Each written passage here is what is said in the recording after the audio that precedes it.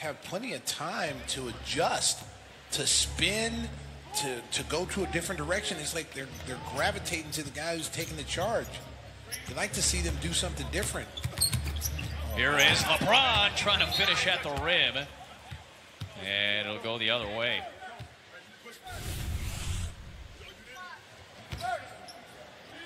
Just kind of lost it out of the hand there. You know, Shaqtin' a Fool. I think Shaq might relish Yeah. Hey, we, you got to find something that this guy does. And no one touched him. Yeah. I mean, that was a miss. He That- just that's, lost a, it. that's a miss. That's that's a rare miss. There's LaVine to the rim.